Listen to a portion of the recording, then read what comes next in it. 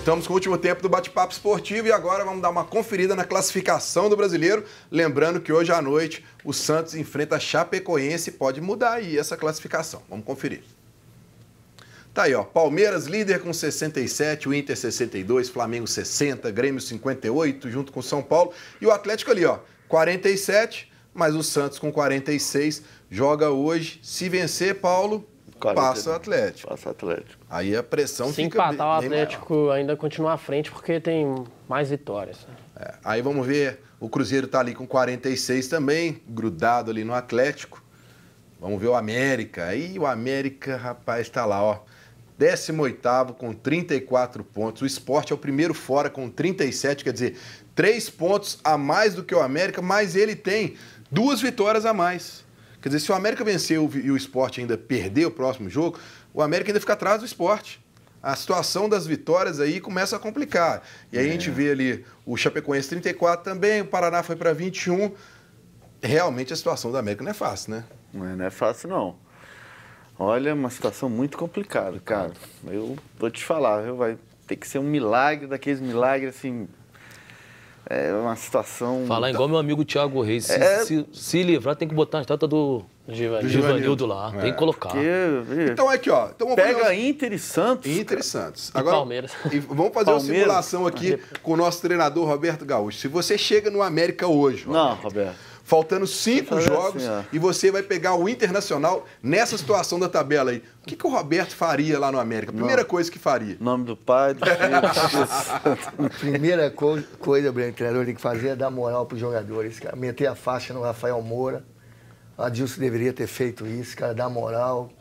É o maior salário, o cara que pode resolver, não tem medo da pressão lá. Já jogou no Internacional e dá moral pro elenco, né? E não adianta, como o Paulo Roberto falou, jogar por uma bola, não adianta. Agora tem que ir pro pau e jogar de igual para igual. Tomar três, procurar fazer dois e jogar para ganhar, porque empate não vai resolver. É. Então, o Givanildo, se não der moral, não pode contratar mais ninguém. Tem que fechar o grupo e ver o que, que vai acontecer, né? Nesses... Tem dois jogos, duas decisões, Inter Santos, porque se perder as duas, Aí praticamente. Já era. já era. É difícil, né, Vinícius? Para você, então, tá mais. Porque você já rebaixou o América aqui, Não, eu acho, sinceramente, porque a derrota para o Paraná não é só deixar de, de conquistar três pontos, é uma derrota moral também. Você perdeu pro Lanterna, o time é. que já está rebaixado. E a sequência da América é difícil demais.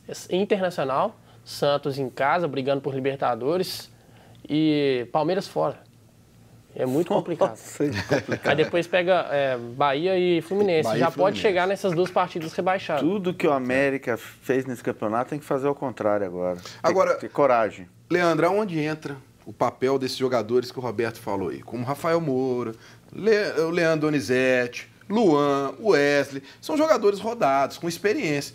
Não é, não, já não passou do momento deles começarem a dar um pouquinho mais lá, cobrar um pouco internamente, não? Breno, é, foi o que o Roberto falou, agora é outro treinador. Tem que levantar a moral dentro do vestiário. É difícil?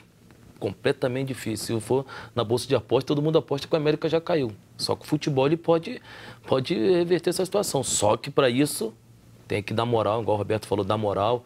Os mais velhos agora chamar o grupo, falar, vamos lá, vamos acreditar, vamos fazer por nós aqui. Muitos aí já estão nós como rebaixado. Nós podemos reverter essa situação. Então agora é dos jogadores do mais velho. Esquece o Adilson, já foi. E agora é da, da, da sequência novo, novo treinador. Bom, vamos falar agora de Libertadores da América. Ontem teve aí o primeiro jogo da final entre Boca Juniors e River Plate. Empataram em 2 a 2 Vamos conferir aí os gols desse jogo. Pode dizer, né, Vinícius, que é a maior decisão da história da Libertadores? Pode. A Comebol fez uma forcinha mas realmente são duas grandes equipes. O Boca tem mais força individual, o elenco do Boca é mais recheado, mas coletivamente o time do River Plate joga muito. E foi um jogo muito bom. Normalmente uma final é mais truncado, um jogo mais estudado, pegado. Foi um jogo de chances claras, de muitos gols, uma final realmente que encheu os olhos. E, e, uma final com pô, uma pitada de Atlético Cruzeiro, né? É. Com um gol de Abla para um lado, gol de Prato para o outro. Agora, Paulo, você consegue cravar aí quem que vai ser o campeão da ah, Libertadores? Muito difícil, muito difícil. Agora no campo do River, É uma empate, desse... qualquer empate vai para os pênaltis. É, eu, eu, tô, eu tô achando que vai até para os pênaltis esse jogo. É muito difícil, cara. Um jogo muito equilibrado, as duas torcidas. A pegada dos argentinos é muito grande, velocidade, ah, né? Eles têm uma, realmente uma coisa assim muito legal no futebol, né? A intensidade que eles jogam é incrível, incrível. O Roberto conhece muito os dois lados, né, Roberto? Pelo Cruzeiro lá, Supercopa, Recopa, tudo. Você jogou várias vezes. Você tem algum favorito aí? É, o Paulo falou tudo difícil. Eu fiz gol lá 2x1 um, na Bamboneira, né? Lotado. E joguei contra o River. Eu morei lá seis meses, joguei no Huracan, no time do Ávila lá. Paulo Roberto falou: os caras são profissionais, são dedicados, e a intensidade que os caras jogam, eles já treinam da mesma maneira que eles jogam. Então é a parada dura. Eu também não. Não, sei dá para cravar. Não dá né? para cravar. Tem tudo para ir para os pênaltis, essa, essa Libertadores. E matar metade da população do coração. É, porque os argentinos são fanáticos. Ah, louco, hein? Leandro, você tem favorito? Minha torcida é pro Boca. Não, claro que não, não, quer dizer que vai ser, vai ser campeão, mas eu vou torcer pro Boca porque eu era fã daquele Riquelme, viu? Riquelme, Meu Deus do céu, bola. gostava muito daquele cara. Então, mas é. Tem tudo para ir para os pênaltis, igual o Paulo falou. O jogo ontem foi. O nego falou que ia ser muito truncado, não. Foi um jogo jogado mesmo, bonito. Final, tá de parabéns. Para fechar, Vinícius, você? Cravo em quem?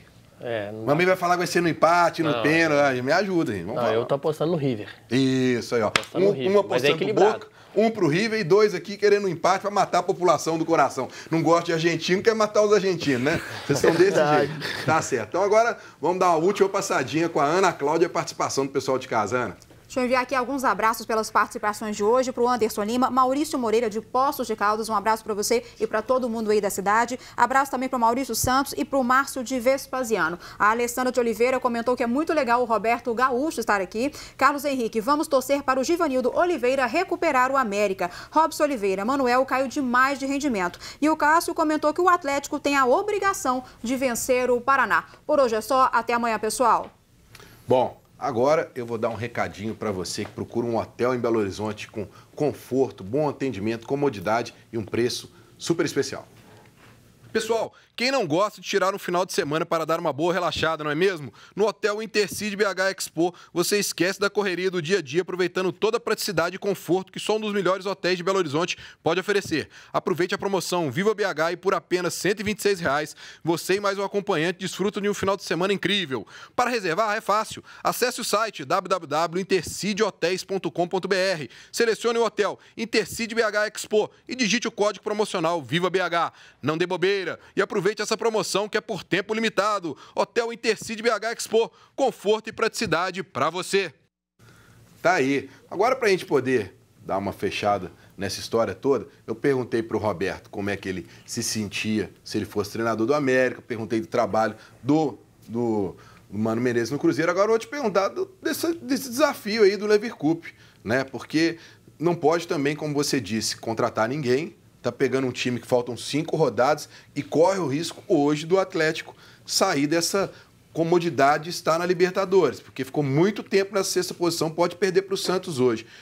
Esses cinco jogos, você, Roberto Gaúcho, treinador do Atlético. torcedor do Atlético, será que vai gostar disso? Mas não sei, mas vamos lá. Roberto Gaúcho, treinador do Atlético. O que, que o Roberto Gaúcho faria para conseguir essa Libertadores no final? Ah, jogar com intensidade, dar moral para o grupo, conversar com os jogadores experientes para passar tranquilidade para os mais jovens, não mexer muito na equipe, que o Thiago Life vinha jogando, o Levi já não vem mexendo muito, para buscar as vitórias fora de casa. Né? Tem cinco jogos aí para o Atlético Mineiro fazer no mínimo 12 pontos aí desses 15 para estar entre os seis, né? Que a Libertadores é muito importante no calendário do Atlético, né? Então, o Levir vai fazer um. Tenho certeza que o Levir vai conseguir essas vitórias aí para o ano que vem ele montar um time forte, que é um cara competente, inteligente, tem tudo para dar certo. Eu acredito no Atlético. Tá aí, ó. Torcida Atlético gostou de ouvir isso aí. Valeu, Vinícius. Valeu, Breno. Valeu, Leandro. Oh. Grande Roberto. Obrigado pela sua participação. Boa sorte lá. E quando aparecer o clube, você conta pra gente aqui, pra gente falar aqui. Com certeza. Valeu, Paulo. Quem perdeu um trecho do programa tem reprise 11 horas da noite, enquanto marcado amanhã, 1 hora da tarde, aqui na TV Horizonte. Grande abraço a todos. Até amanhã.